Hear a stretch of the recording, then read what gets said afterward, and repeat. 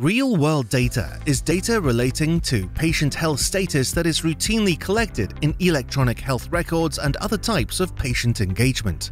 This kind of information gives a real opportunity to carry out higher quality clinical research. However, there are some challenges in using real-world data.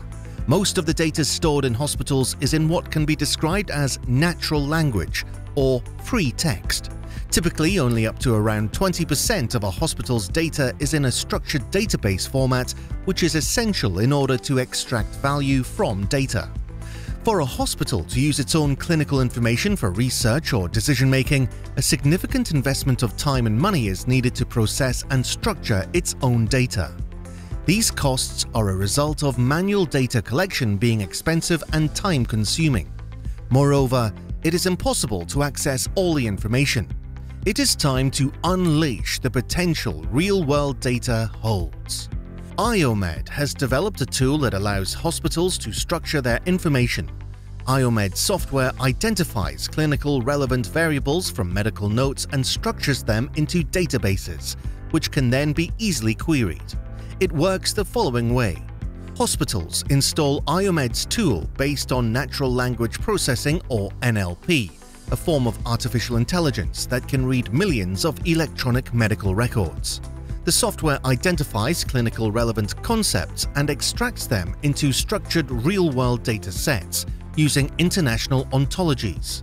The result is a structured, standardized, and interoperable database.